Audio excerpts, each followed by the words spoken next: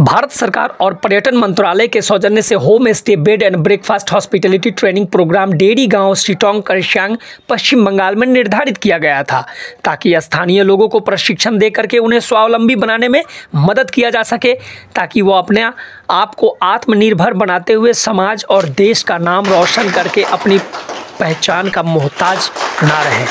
ऐसे में श्री ज्योतिर्मय विश्वास सहायक निदेशक पर्यटन मंत्रालय, भारत सरकार ने कहा कि एक्सपीरियंस इनक्रेडिबल जर्नी ट्रस्ट को शिटोंग को प्लास्टिक मुक्त गाँव घोषित करने की ज़िम्मेदारी अब लेनी चाहिए और अनुभव पर्यटन को बढ़ावा देना चाहिए और इसके लिए पर्यटन मंत्रालय, भारत सरकार, कोलकाता रेजी ने पूरा सहयोग करने की वचनबद्ध है। पर्यटन मंत्रालय, भारत सरकार ने निधि पोर्टल के माध्यम से ग्रामीण पर्यटन को बढ़ावा देने पर अधिक ध्यान दिया है।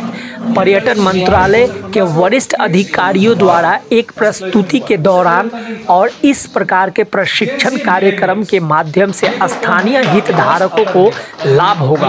उन्होंने धन्यवाद कहा। साथ ही साथ आपको बता दें कि इसमें सहयोगी eastern Himalaya travel and tour operators association, युवा tourism club, travel for life, देखो अपना देश एक भारत श्रेष्ठ भारत के साथ साथ आई आई ए एस के एक्सपर्ट शिक्षक अपने विचारों को प्रकट किया है और उनका मकसद केवल और केवल यह है कि शीटोंग के स्थानीय निवासी को पर्यटन के क्षेत्र में कैसे अपने रोजी रोज़गार को मज़बूत करके अपने आप को स्वावलंबी बना करके देश का नाम को रोशन करना चाहिए। धन्यवाद। जा रहा है।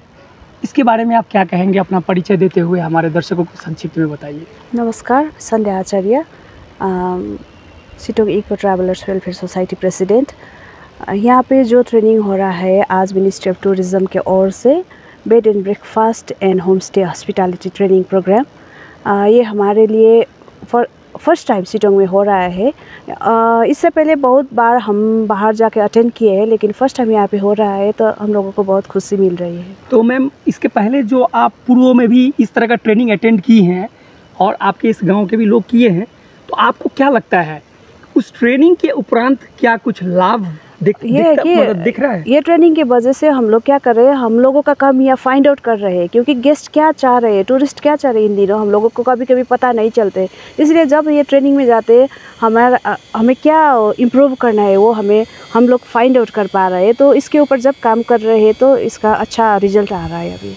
आज कौन कौन अधिकारी यहाँ पे उपस्थित हैं? West Bengal department of tourism से बहुत सारे ऑफिसर्स आए हुए हैं।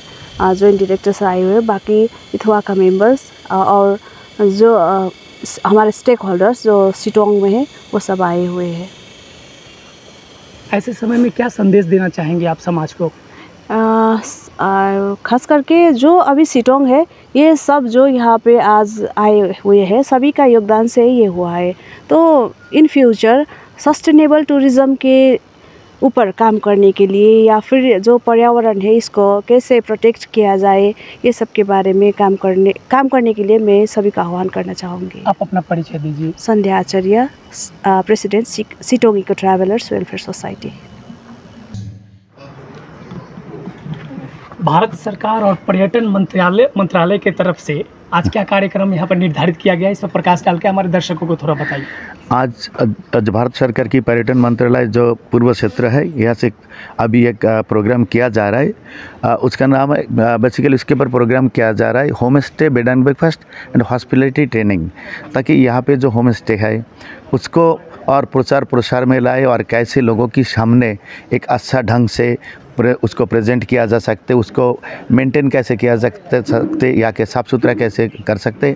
इसीलिए कि लोगों की अवेयरनेस और हॉस्पिटलिटी दोनों इसमें है ताकि कैसे अच्छा हॉस्पिटलिटी दे सकते और कैसे इसको ये सर्वाइव कर सकते। यही उद्देश्य में सर उनको आत्मस्वावलंबी बनाने का मेन मकसद है सर। बिल्कुल यही है कि ताकि ये ऐसा नहीं जो आके घूम के चला जाए और ये ख़राब हो जाए, कल अगला जो इसका ये है फर्दर इसको ना चले, ऐसा ना हो। इसीलिए हम लोग क्या करते हैं, लोगों को ट्रेनिंग दे ताकि इसको कैसे सर्वाइव कर सकते फ्यूचर में और इसको जो और ज़्यादा अट्रैक्शन यहाँ के ऊपर हो कि जो लोग सिटंग में बहुत सारे लोग आए, आके यहाँ का जो लोकल पीपल के जो बेटरमेंट ऑफ़ देयर लाइफ जो है, उसको ये बढ़ाए ताकि इसको अपना रोज़गार मिले और एक साफ़ सुथरा एक अच्छा जगह, इसका जो अपना जो कल्चर है इसका जो खाना है तो इसके प्रमोट करे। यहाँ के जो एथनिक पीपल है ये लोगों के बारे में जानकारी हो और इतने अच्छा एक ये है हरेली जो ये है पहाड़ है यहाँ पे आके लोग दो दिन आराम से गुजारे।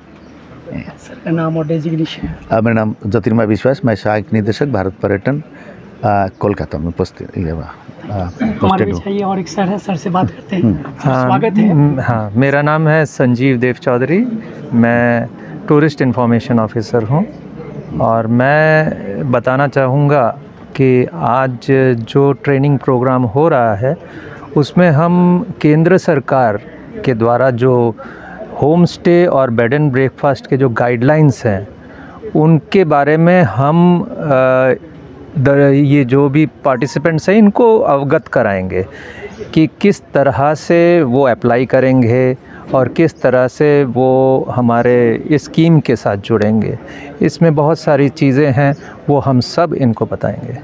सर जैसे क्या क्या है? थोड़ा सा प्रकाश डालेंगे देखिए जो सिंपल सी चीज़ है होम स्टे जो है जो ओनर्स हैं जहाँ रहते हैं वो अगर अपने घर से चलाएँ तो उसे होम स्टे कहा जाता है। और बेड एंड ब्रेकफास्ट स्कीम में क्या होता है कि आप किसी केयर टेकर को रख के भी आप बेड एंड ब्रेकफास्ट चला सकते हैं। तो ये बेसिक डिफरेंस है। तो इसके अलावा बहुत सारी चीज़ें हैं जिसके बारे में हम इनको डिटेल में बताएँगे। सर इसके पूर्व भी इस तरह का कार्यभार तो आपके माध्यम से किया गया होगा। सर उससे कुछ लगा है कि कुछ आपको देखिए इस क्षेत्र में काफ़ी कम है जागरूकता जिसको कहना चाहिए। काफ़ी कम जागरूकता है होम स्टे और बेड एंड ब्रेकफास्ट गाइडलाइंस जो केंद्र सरकार के द्वारा जो निकाला गया है स्टेट गवर्नमेंट का अलग है।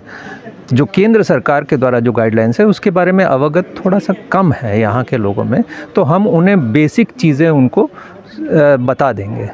आज। ऐसे समय में क्या संदेश देना चाहेंगे आप तमाम उन लोगों को जो आपको सुन रहे हैं? हम चाहेंगे कि ज़्यादा से ज़्यादा लोग केंद्र सरकार के स्कीम के साथ जुड़ें और फ़ायदा उठाएँ, क्योंकि वंस वो लोग हमारे इस स्कीम के साथ जुड़ जाएँगे तो विदेशों में भी उनके जो नाम और डिटेल ये सारा कुछ हमारे पोर्टल में चला जाएगा और बाहर से लोग इसे देखकर डायरेक्ट यहाँ बुकिंग करेंगे। ठीक है? स्वागत है सर आपका। क्या कहना चाहेंगे आज? आप जो है पर्यटक के रूप में यहाँ घूमने आए हैं।